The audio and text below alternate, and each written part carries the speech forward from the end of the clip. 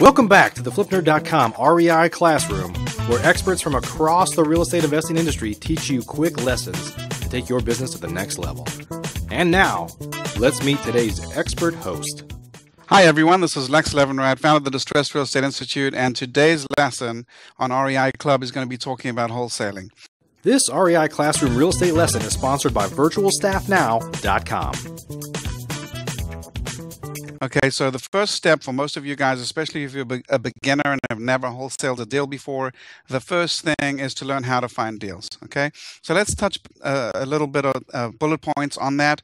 The, the first place and easiest place for you to find deals is simply online. Even if you're not a real estate agent, you can go to realtor.com and you can search and you can see every property that's listed on the MLS without having a real estate license. Now, I do recommend that if you're serious about getting into this business, you do think about getting your real estate license because it'll give you a lot of added benefits. For example, the ability to get lockbox codes, uh, the ability to see broker remarks, and most importantly, the ability to have access to these properties and actually physically go in them. Okay, so when we're talking about looking for deals, one easy place, as I mentioned, is realtor.com the challenge that you have with that is, is everyone is looking in the same place, right? So every bank home property, every short sale that's listed on the MLS is on there, which means every buyer's agent, every cash buyer are all looking at the same thing. So um, if you want to go a step further and look for deals that other people don't have, then what you want to do is try and look for desperate sellers. Okay, and I'm going to break down desperate sellers into three different components. So the first one is sellers that have a property that has some kind of damage. All right, so it could be a hurricane damaged house, it could be fire damaged, water damage, mold damage, whatever. For whatever reason, they cannot live in that house. So um, unfortunately, even though they cannot live in that house, they are still obligated to make their mortgage payment. So typically, they'll be living somewhere else, like in a rental.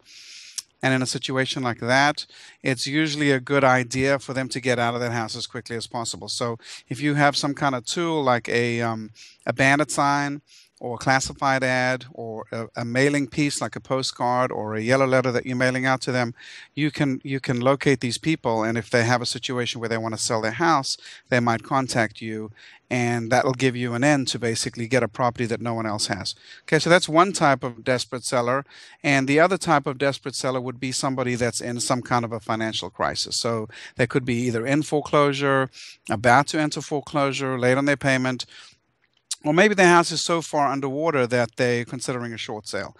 And a great source to market to these people is simply to get the list of the people that are late on their mortgage, which is called the uh, lis pendens or notice of default, depending on which state you're in.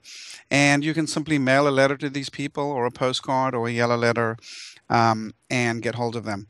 Okay, so when looking for deals, whether you're looking online or you're talking to desperate sellers, keep in mind a few things. First of all, you're going to need to have basic knowledge of the price points in that market okay? Because if a seller calls you and you don't know how much to offer them that's not going to do you or any of them any good okay? So number one make sure that you have a, a, a, price point understanding of comparable sales in your marketplace what a house would sell for fixed up which we call arv in this business.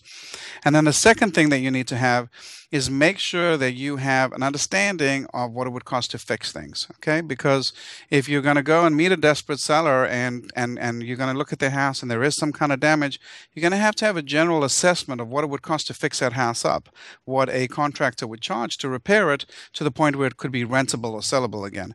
And that's going to become very, very important because um, the ARV formula, which is basically the after repair value of the property multiplied by 65% less that repair estimate is going to determine your offer price. So um, make sure that you know how to determine your maximum offer price. Make sure you understand that ARV formula Okay, once again, ARV times 65%, less repairs equals your maximum offer, and, and make sure you know what to say when they call. Okay, so uh, looking for properties, if you want to just go ahead and get started, some action steps. Number one, go online, like uh, sites like realtor.com, type in your city or town that you live in, and then search low to high.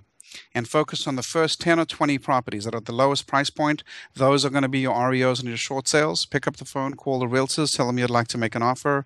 And then the other thing is get involved with some kind of campaign like bandit signs or classified ads or yellow letters where you can market to sellers in distress. Okay, so that ends our how to get started wholesaling short uh, REI educational topic. If you want to learn more about the Distress Real Estate Institute, feel free to visit our website at www.lexlevinrad.com and I'll spell that for you. That's L E X L E V I N R A D, and you can learn a lot more about us on there. So until the next time, we'll see you soon.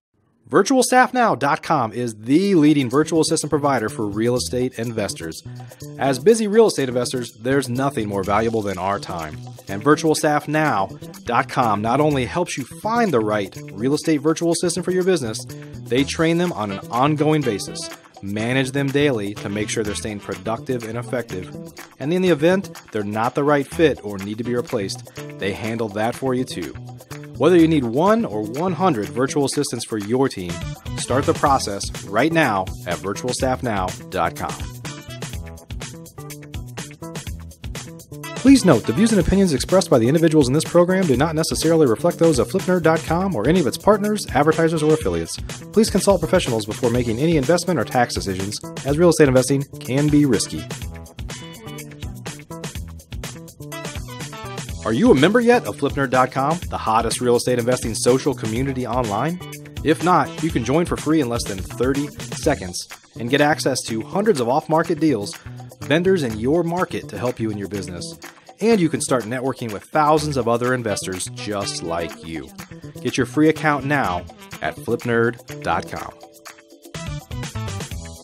Please check out the FlipNerd family of real estate investing shows where we host four great ongoing shows at flipnerd.com slash shows or simply search for flipnerd in the itunes store